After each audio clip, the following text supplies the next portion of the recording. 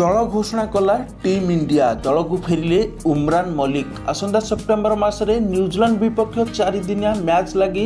BCCI ଦଳ ଘୋଷଣା କରିଛି ଦଳକୁ ଫେରିଛନ୍ତି କୁଲଦୀପ ୟାଦବ ଉମ୍ରାନ୍ ମଲ୍ଲିକ ରାହୁଲ ଚହର ଓ ପ୍ରସିଦ୍ଧ କ୍ରିଷ୍ଣାଙ୍କ ଭଳି ଅନେକ ତାରକା ଖେଳାଳି ଆଇପିଏଲ୍ ଦୁଇ ହଜାର ବାଇଶରେ ଭଲ ପରଫର୍ମାନ୍ସ ଦେଇଥିବା ରଜତ ପାଟିଦର ଓ ତିଲକ ବର୍ମା ମଧ୍ୟ ସ୍କ୍ୱାଡ଼ରେ ସାମିଲ ହୋଇଛନ୍ତି ତା ସହିତ ରଞ୍ଜି ଟ୍ରଫି ଦୁଇହଜାର ବାଇଶର ସର୍ବାଧିକ ରନ୍ ମାରିଥିବା ଷ୍ଟାର ଖେଳାଳି ସରଫରାଜ ଖାନ୍ ମଧ୍ୟ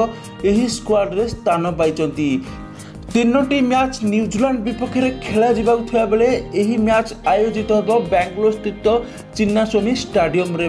প্রথম ম্যাচ একরু চারি সেপ্টেম্বর দ্বিতীয় ম্যাচ আটরু এগার সেপ্টেম্বর এবং শেষ ম্যাচ পনেরু অঠর সেপ্টেম্বর মধ্যে খেলাযিব নিউজিল্যান্ড এ বিপক্ষ